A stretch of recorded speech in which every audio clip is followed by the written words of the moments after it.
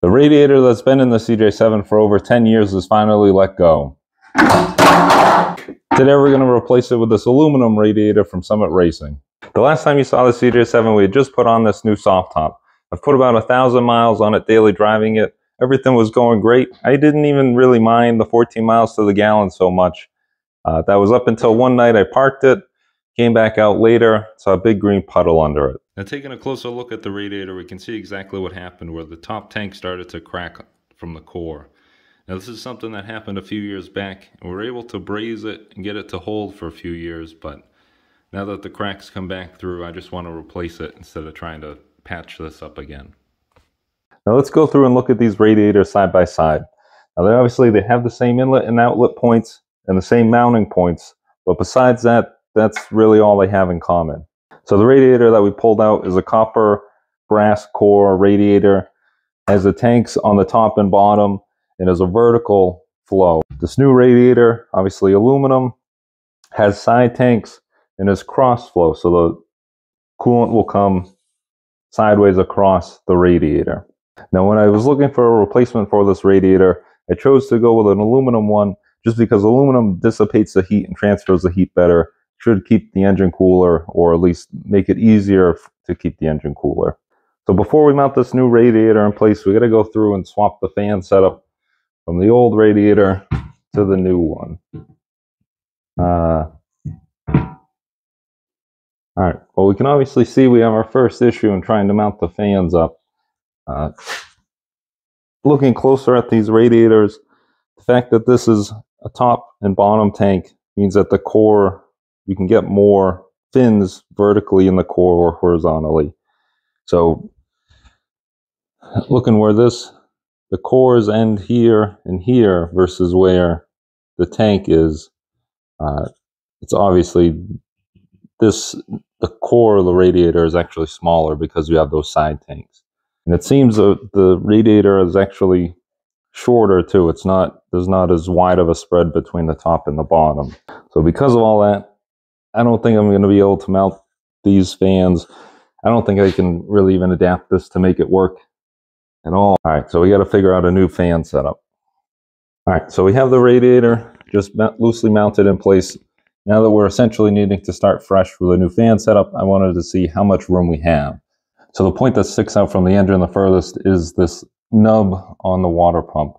And so this is the threads for a mechanical fan setup uh, now, the reason I didn't have a mechanical fan on this before is because that hub was too far uh, and hit the radiator or would have hit the radiator. So looking at it, I only have uh, three, maybe a little over three and a half inches between that point and the radiator. So now looking online, now that this radiator is now narrower side to side, trying to do a single fan setup, they need like four to five inches to stick out, and that's obviously not going to work. And if I try and do a dual fan setup, well, now I got to probably do diagonally, and those fans will get pretty small. I'm not sure I want to do that. But then I wanted to check, all right, well, how much room does the mechanical fan actually take up? So I did some digging. I was actually able to find the original fan clutch for this engine. Uh, now looking at this, hey, this doesn't seem all that big. So now looking at it, if we try and fit it, all right, well, yeah, it hits the, hits the radiator and then it's hitting the pulley here and I would need to come in another half inch or so. So yeah, all right. I wasn't crazy. Yeah, this isn't going to work. Well, maybe I can get a narrower one, a smaller one of this. And that's what I have here. So if we look at the height difference, obviously it's considerable. Uh, on the back side, they look pretty much the same, but on the, the front face, obviously this one has all of this extra material. This one just has these uh, little fins that even worst case, maybe we can trim down. But let's see if this fits in here. And at least from you know where it's going to need to sit on the pulley Hey, yeah, that fits and there's there's some clearance there. So now this is now the new plan for the fans to be able to run a mechanical clutch fan uh, and keep this cool. All right, so let's talk a little bit more about these fan clutches and what makes them different and why this one's smaller uh, than this one. So the one that came with the engine, and we have to remember this engine came out of a one-ton truck. So looking online, this is what's called a severe duty fan clutch. So that's why it's so much bigger. And what that means, or the way fan clutches work, or at least from what I found online. So there's two things with uh, these fan clutches. So one being the temperature that they start to lock up and engage, and the other one is the percentage uh, that they lock up. So what that means is if the water pump's spinning at 1,000 RPMs, this locks up to, I think, 80, 90% of that water pump speed. So if the water pump's spinning at 1,000 RPMs, the fan will spin at 8 to 900 RPMs. Where this is a standard duty fan. So same things, temperature and RPM. I think this is 60 to 70% lockup uh, or percentage of RPMs. Same thing, if the motor's spinning at 1,000 RPMs, the fan will spin at 6 to 700 RPM. So that fan speed obviously directly relates to amount of air that it's moving and amount that the engine or radiator can cool. So obviously this will cool more or more efficiently than this one will. The big question I have to ask myself is, do I need this level of cooling or is this okay? Now, I really can't answer that until I get it in, do all this work, and then find out, hey, no, this isn't going to work. I need something like this, and then I'm back to square one. But fingers crossed. All right, so we've talked about the clutches now. Let's talk about the fan itself. Same thing. I was somehow able to find this in that trailer over there, buried under everything. Went through, just painted it up.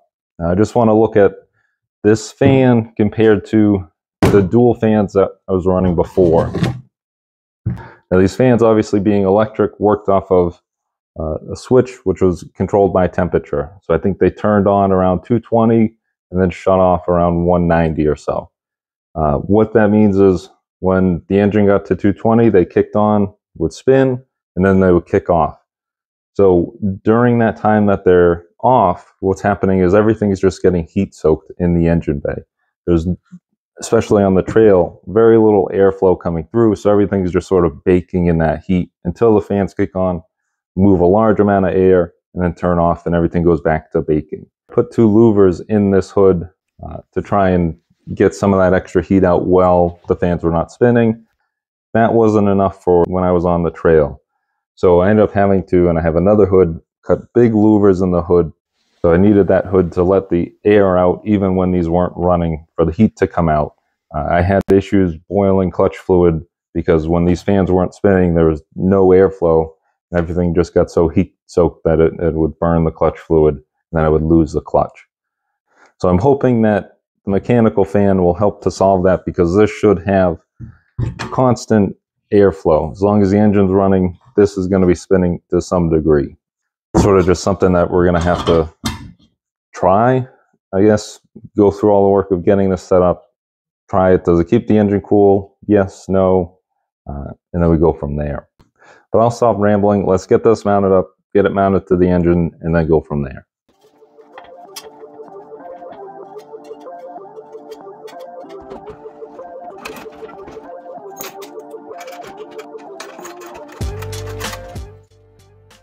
All right, so we have the radiator in and the fan on. Now we can't just go up and hook the hoses and fill this up and call it a day because we need to have a shroud for this fan. Uh, so we need something to, to cover the radiator and then sort of neck it all down to be just about where the fan is. And so that will cause all the air in the fan to pull air through the radiator rather than if we just run it like this, it'll just move all this air around in the engine bay and not really pull anything through the radiator. So we'll pull this out I think I got an idea that might work. So this was my initial plan. This is a radiator shroud from a six-cylinder TJ. Uh, I thought, or the fan opening is the same diameter or close enough to work. Uh, and I was able to get it to, to fit where it would need to. I trimmed off everything I wouldn't need, but that means I also trimmed off all the mounting points. And so I don't really have any good way to build a, a, mount off of this that I can then bolt in.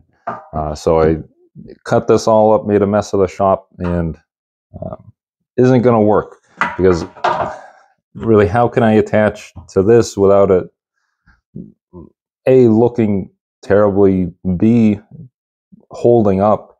Uh, if I try and you know screw, rivet, glue, epoxy, is that really going to hold up, or is it after a few heat cycles going to crack and you know this hit the fan and then just make a big mess of it? So this, unfortunately, I put a decent amount of time taking this in and out to try and get this to line up.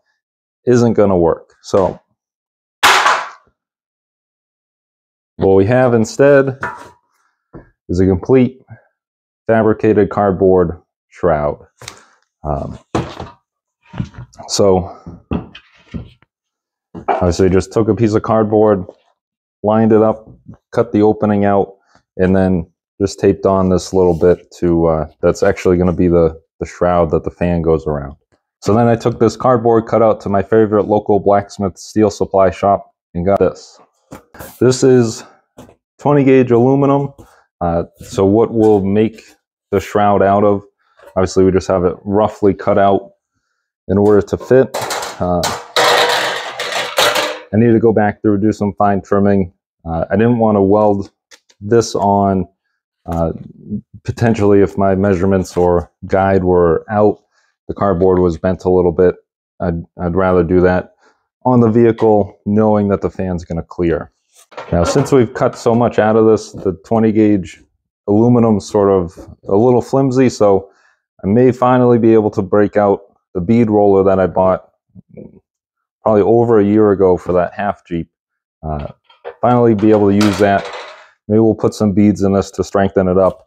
And then once we put the, the actual shroud onto, that will help to strengthen this up. So let's get this mocked up. Uh, see, did our measurements work? Does my template line up? Or do I need to, how much do I need to cut and trim out of this?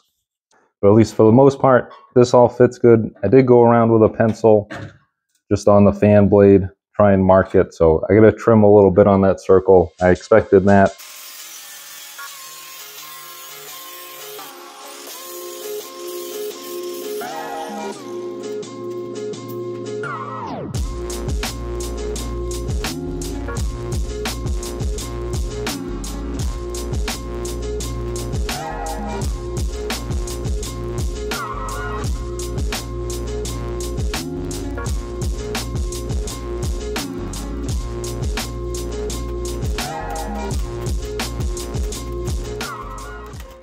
All right, so we have the shroud all bent up, uh, did the bead rolling. I probably shouldn't have done the most visible bead first because I obviously messed up there, tried starting in the middle, going, and then going back, and I probably should have just did one pass because these other ones don't seem too bad. There's some scratches, uh, scratches in it, but those should clean up with some Scotch-Brite. Uh, we have the top bent, and then on the bottom here, we have that little lip rolled over, just so that doesn't cut those hydraulic lines. So the next thing we need to add is this piece, which is what's going to go around the fan.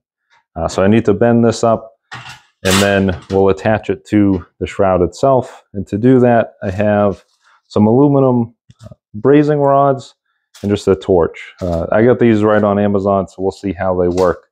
Uh, I guess something else I've never done before, besides the bead rolling on this, is brazing. So uh, we'll see how that works, and hopefully it holds up. Hopefully I can get these to stick together, but we'll see.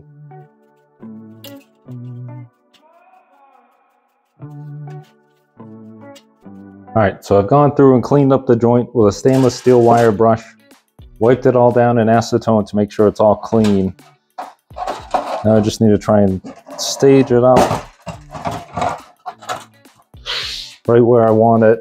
And then I'm going to heat the aluminum with the torch and then have the hot aluminum melt the brazing rod. I don't want to melt the rod directly with the torch because then the we don't know if the metal's hot enough to actually accept it. So I'm going to try and heat just the, the aluminum up and have the aluminum melt that rod.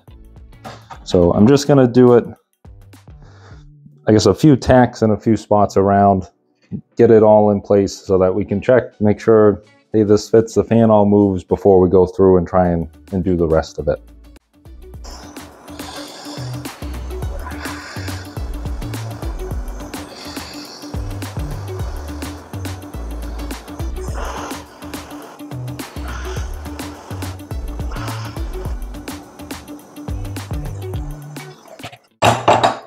So we'll let that cool and then see how it looks. I can already tell it's kind of all warped around. Okay.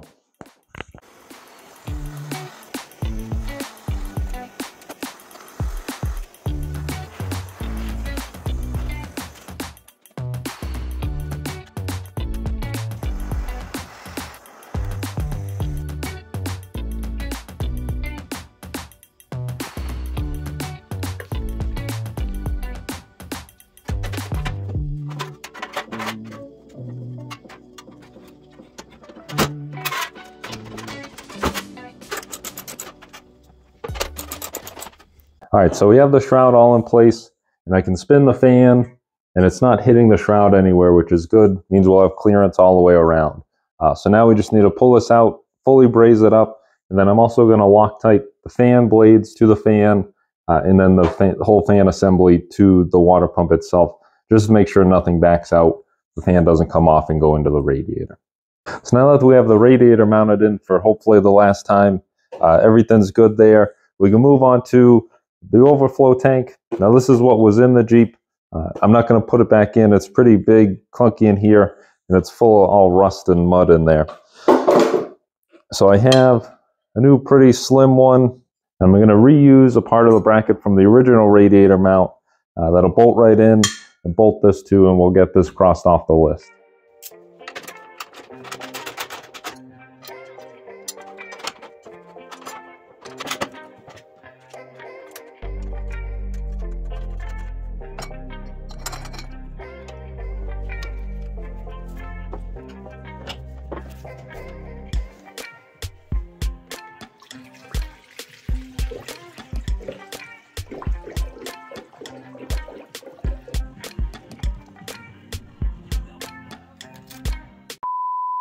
All right, so quick commercial break. I know it's been a while since I've posted a video. Actually, I just wanted to stop and recognize that since the last time I posted a video, we crossed the 500 and then even 600 subscriber mark. So I just wanted to stop and say thank you for all of you that are, are watching these videos, subscribing, liking, and commenting. So it's pretty cool that so many of you are interested in watching me work on my Jeeps uh, asking questions and giving feedback. So I just wanted to say thank you for that. So second thing, you may have noticed in this video, I'm wearing a new Larson Garage shirt. So I had a small batch uh, made up sort of for friends and family, but I also want to give a handful away to the subscribers who are supporting the channel. So this is obviously my first giveaway, so I'm not sure how other people do it. Uh, but if you just send an email to thelarsongarage at gmail.com, I'll put it on the screen or put it in the comments below. Uh, just send me an email, say, hey, Matt, I'd like a shirt. And then I'll collect that list of names, do some sort of randomized uh, drawing, and then send those out to you. So the timeline for this uh, giveaway, I'll do it one week uh, after I post the video. So I'm not sure what day yet I'll post this, but I'll have that also in the comments or on the screen sort of the, the deadline of when to send that email to me uh, that you're interested. I just wanted to say thank you again, best of luck, and now let's get back to the video.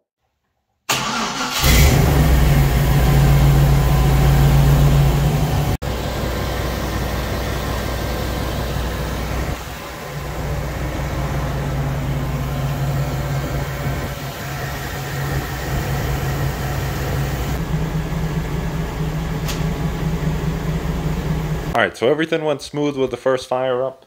Uh, obviously, no interference between the fan and the shroud, which is good.